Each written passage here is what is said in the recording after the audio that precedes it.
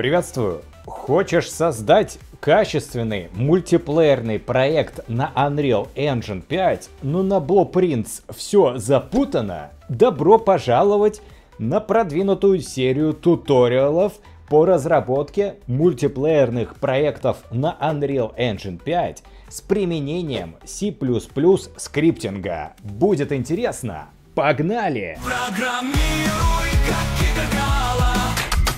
Стань профессиональным разработчиком игр и создавай полнофункциональные многопользовательские проекты на Unreal Engine 5 с использованием C++ вместе с Cybercala Learn. Переходи по первой ссылке в описании и приобретай интенсив «Разработка игр на C++ в Unreal Engine» уже сегодня. Cybercala – твой надежный партнер в мире IT. Идем во вкладку «Игры». Выбираем тип проекта Top-Down и ставим переключатель C++. Ставим также галочку Starter Content и нажимаем Create. В итоге видим вот такую картину. Параллельно открываем проект на Visual Studio. Весь проект располагается во вкладке Games и далее в Source. Тут непосредственно все исходники. Геймплейный фреймворк. Как мы видим, UObject самый главный класс. Actor — базовый класс, который является родителем трех подгрупп классов. Чтобы создать любой класс в Unreal Engine, необходимо пойти в Content Drawer C++ Classes, название проекта, и тут нажать правой кнопкой мыши New C++ Class. Далее выбираем родительский класс, создаем Actor и называем его, допустим, Defense Tower. Обратите внимание, если не выбрать тип класса, то и заголовок, и C++ файл будут в одной директории. Для простых проектов это нормально. Visual Studio спрашивает, что-то поменялось и какие-то изменения появились. Что будем делать? Нажимаем отмену и сохраняем. Видим, что в проекте появились новые файлы. И Coding собрал проект успешно. Видим зеленые строчки Successfully Linked Patch. Если у вас возникли ошибки, а такое часто бывает, можно пойти в Tools и нажать Refresh Visual Studio Project, после чего Unreal заново сделает все компиляции и проект необходимо будет обновить, нажав Reload All. Вы готовы писать код. Кстати, чтобы сразу открыть данный файлик, можно два раза кликнуть в Unreal Engine по названию этого класса. В заголовке это у нас API по сути. Необходимо описать используемые переменные и функции. Напишем, что будет у нашей оборонной башни. В играх жанра Tower Defense у башен обычно есть э, количество жизней, ХП, также броня, радиус атаки, конечно же, интервал перезарядки, reload interval. Это публичные, доступные другим классам атрибуты. Защищенные protected attributes могут быть доступны внутри класса или дочерних классах. Значения protected атрибутов изменяются в течение геймплея и отображают какие-то состояния. Для примера, Reload Counting Down задает значение интервала перезарядки, reload интервал, который будет уменьшаться с каждым тиком. Публичные функции могут вызываться либо внутри класса или их дочерними классами или внешними вызовами. У нас есть is destroyed, может ли башня стрелять, can fire, собственно метод стрельбы fire и также hit, получение некоторого урона. В отличие от приватных функций, Protected – защищенные функции могут быть вызваны внутри. Вдобавок, Protected функции могут быть вызваны дочерними классами. В нашем случае Destroy Process вызывается, когда жизни у башни не осталось. Базовый класс Actor используется для создания широкого спектра объектов, таких как здания, точки спауна, Напиши в комментариях, какой твой самый любимый игровой движок. Конечно же, какая башня, которая не умеет стрелять. Нам необходимы снаряды. Делаем нового Эктора и называем его Projectile. Нажимаем кнопку Create Class и автоматически Unreal Engine добавит данный класс в проект Visual Studio. Видим, появился Projectile.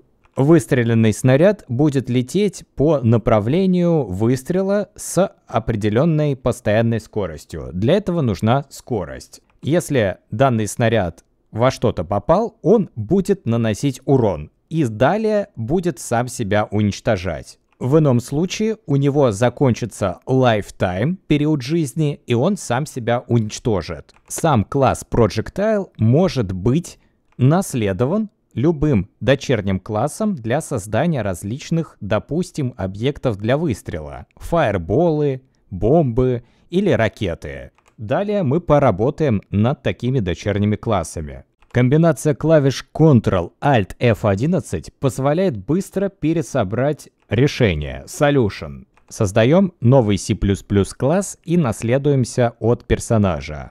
Вместо стандартного A-Pawn наш player-аватар, данный класс будет использоваться движком для того, чтобы спавнить игрока. Игровой персонаж не только реагирует на ввод пользователя, но еще воспроизводит анимации и двигает непосредственно персонажа, а также обрабатывает события для симуляции взаимодействий среди акторов. Основное отличие A-Character, A-Actor и A-Pawn в том, что Character содержит Skeletal Mesh, Movement и Capsule Collider по умолчанию, а также поддерживает и анимации.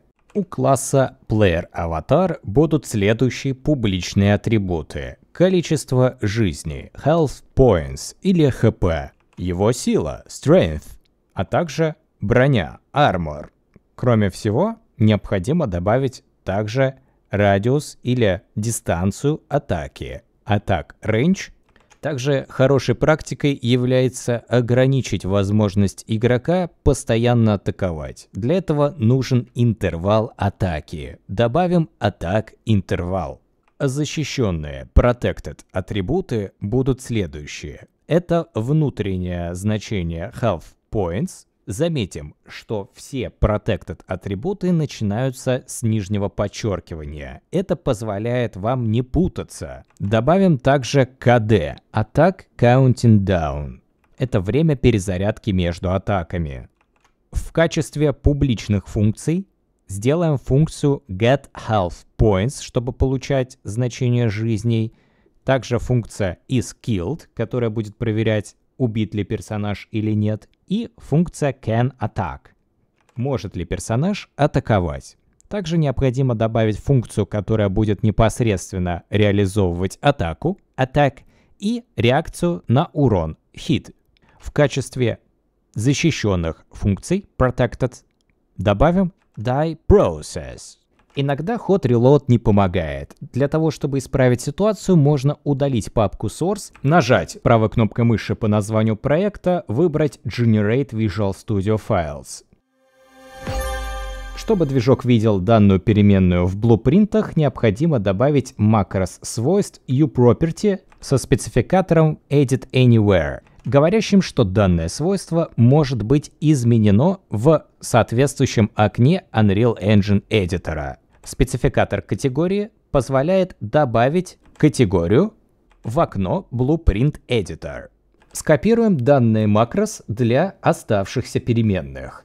Также существует еще спецификатор metadata, который содержит только один ключ, который позволяет задать отображаемое имя данного свойства в Blueprint Editor. Повторим такие же операции для ранее созданных классов изменяя только название категории на соответствующее название класса. Projectile в данном случае.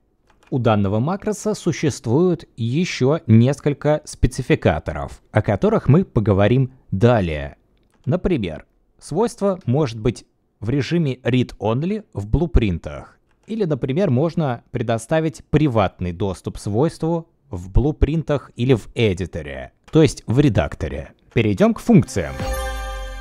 Макрос функции позволяет интерпретировать использование данной функции. Давайте разберем пример. Например, для получения жизней необходимо задать спецификатор у макроса функции, который называется blueprint callable.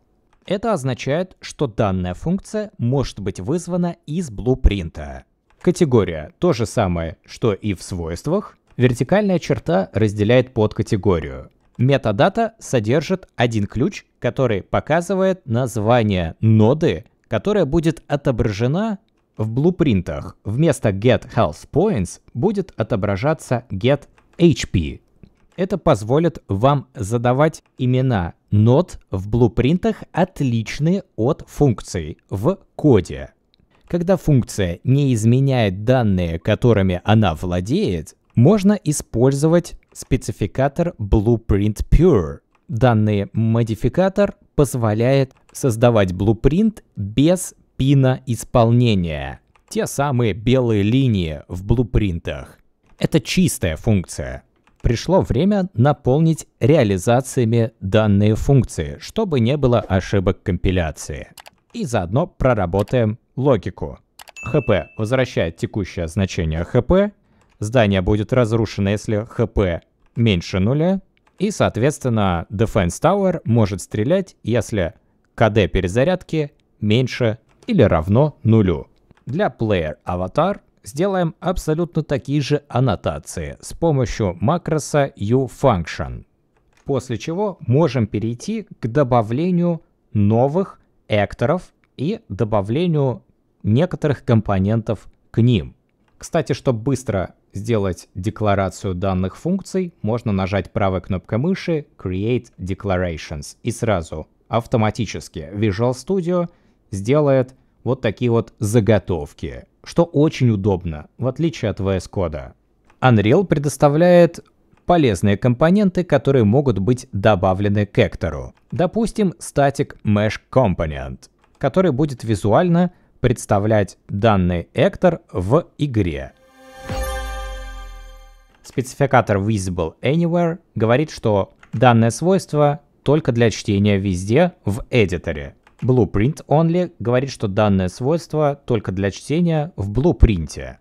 Ключ метаданных Allow Private Access говорит, что данное свойство доступно приватно в блупринте. Добавим Box Component в качестве коллайдера и Sphere Component тоже в качестве коллайдера для примера. Квадратный и сферический коллайдер для детекции коллизий будет добавляться к корневому компоненту Эктора. Static Mesh компонент будет добавляться дочерним элементом корневого компонента Эктора. Теперь добавим геттеры функций, чтобы иметь возможность доступа вне данного класса. Force Inline — это макрос Unreal Engine, который принудительно говорит компилятору вставлять копию кода вместо вызова функции по ее адресу.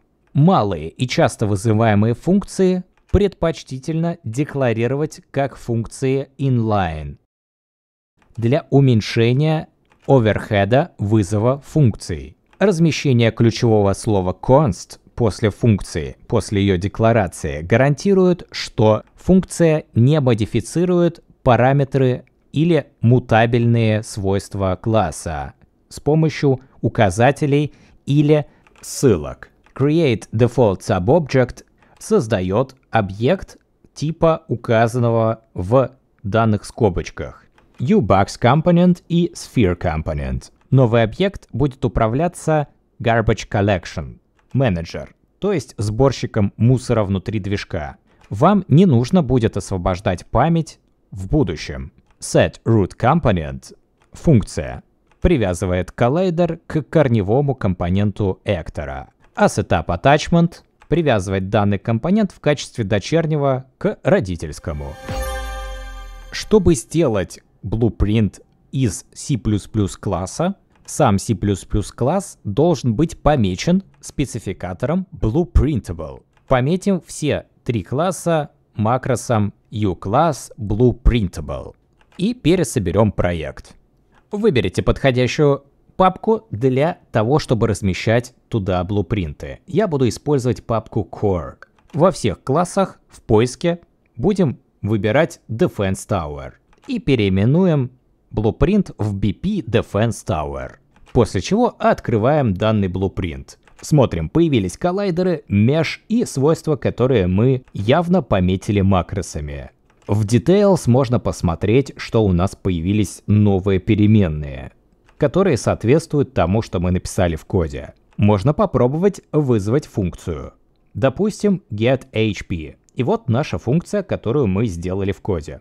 Она называется ровно так же, как указано в метаданных displayName. Можно посмотреть, что она именно называется getHP. То есть в блупринтах появляются функции, которые написаны в коде C++. Чистые функции. Давайте скопируем данную функцию, назовем ее getHealthPointsPure и пометим спецификатором blueprintPure. Посмотрим, что изменится. Скомпилируем проект и вызовем getHP в поиске. Смотрим, что у нас есть getHealthPointsPure. Разница в том, что нет пина исполнения. Можно сразу получить HP. Иногда бывает полезным.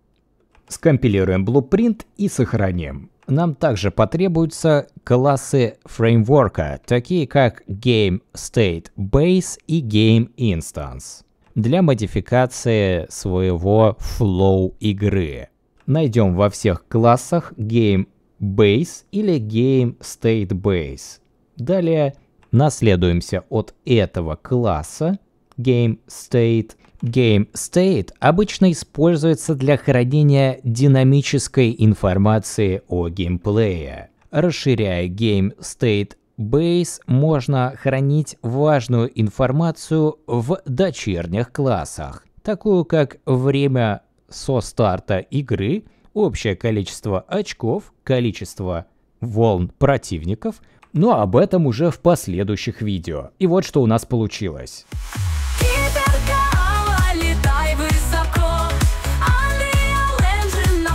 Надеюсь, данное видео было полезным, понравилось. А также благодарю за просмотр.